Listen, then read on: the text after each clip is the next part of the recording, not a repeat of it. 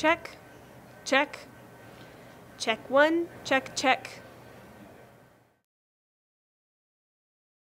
If you can tear yourself away from the patio this week, there's another slew of great concerts in Saskatoon. On Thursday, Winnipeg band Sweet Alibi is coming to the basement. These three ladies know their way around a harmony and are worth definitely a few toe taps. On Wednesday, Whitney Rose comes to Village Guitar and Amp. She's originally from PEI, but now she lives in Toronto, and the girl knows how to do a slow dance, so this one is for the lovers. But you're probably more likely to find me at a show like Zerbin. This BC band is infectious and fun and totally great to dance to.